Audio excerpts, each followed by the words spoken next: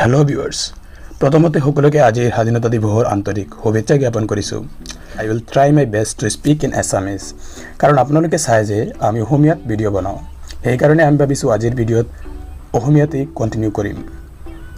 তো আজিৰ ভিডিঅ'টোৰ মেইন টপিক হৈছে এইচ এছ এল চি আৰু এইচ এছ স্পেচিয়েল এক্সামৰ বাবে কেনেকৈ আপুনি আবেদন কৰিব পাৰে। আজিৰ এই ভিডিঅ'টোত অথেণ্টিক ইনফৰ্মেশ্যনৰ ওপৰত ভিত্তি কৰি আমি আপোনালোকৰ সৈতে সকলো কথা শ্বেয়াৰ কৰিম। প্ৰথমতে এটা important information H L C special এক্সামৰ আবেদনৰ বাবে সময়সীমা বৃদ্ধি কৰা হৈছে। ওঠৰ আগষ্ট নিশা ন বজা পৰ্যন্ত আপুনি আবেদন কৰিব পাৰে স্পেচিয়েল এক্সামৰ বাবে। আৰু এইচ এছ স্পেচিয়েল এক্সামৰ আবেদনৰ সময়সীমা বৃদ্ধি কৰাৰ চান্স আছে। যদি সময়সীমা বৃদ্ধি কৰা হয় তেনেহ'লে আমি আপোনালোকক জনাই দিম। যদি আপুনি স্পেচিয়েল এক্সামৰ বাবে অলৰেডি এপ্লাই কৰিছে তেনেহ'লে ভাল কথা। আৰু যিসকল ষ্টুডেণ্টে এপ্লাই কৰিব ভাবিছে তেওঁলোকক আমি প্ৰথমতে স্পষ্ট কৰি দিব বিচাৰিছোঁ যে স্পেচিয়েল এক্সাম আচলতে কোনে কোনে দিব পাৰে। তো স্পেচিয়েল এক্সাম যিসকল ষ্টুডেণ্ট আগৰ ফলাফলত সন্তুষ্ট নহয় মানে ছেটিছফাইড নহয় সেইসকল ষ্টুডেণ্টে এই স্পেচিয়েল এক্সাম দিব পাৰে। অৰ্থাৎ যিসকল ষ্টুডেণ্ট ফেইল কৰিছে তেওঁলোকেও এই পৰীক্ষা দিব পাৰিব। যদি আপুনি ভাবিছে স্পেচিয়েল এক্সামৰ বাবে এপ্লাই কৰিব তেনেহ'লে আপুনি আপোনাৰ মাৰ্কশ্বিট আৰু অৰিজিনেল এডমিট কাৰ্ড নিজৰ স্কুল বা কলেজত জমা দি এই পৰীক্ষাৰ বাবে আবেদন কৰিব লাগিব।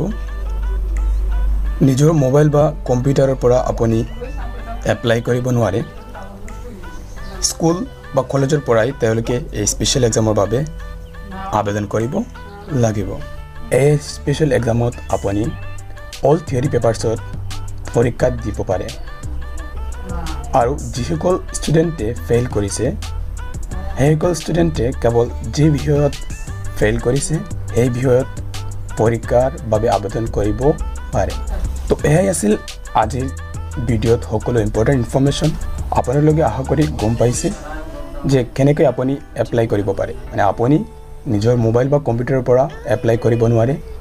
আপুনি যদি ভাবিছে যে স্পেচিয়েল এক্সামৰ বাবে এপ্লাই কৰিব তেনেহ'লে আপুনি নিজৰ স্কুল বা কলেজৰ লগত যোগাযোগ কৰিব লাগিব। আপুনি আপোনাৰ original marksheet and admit card কলেজত জমা দিব লাগিব। তাৰপিছত স্কুল বা কলেজৰ পৰা তেওঁলোকে এই স্পেচিয়েল এক্সামৰ বাবে আবেদন কৰিব।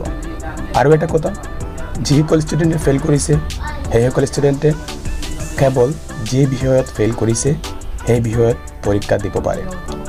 আৰু বাকী ষ্টুডেণ্ট যিসকল ছেটিছফাইড নহয় অৰ্থাৎ পাছ কৰিছে কিন্তু মাৰ্কছ লৈ ছেটিছফাইড নহয় তেওঁলোকে সকলো বিষয়ত পৰীক্ষা দিব দিব লাগিব।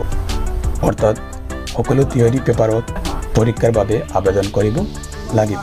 যিহেতু আজিৰ এই ভিডিঅ'ত আমি আপোনালোকৰ সৈতে ফাৰ্ষ্ট টাইম অসমীয়াত ইনফৰ্মেশ্যন শ্বেয়াৰ কৰিছিলোঁ।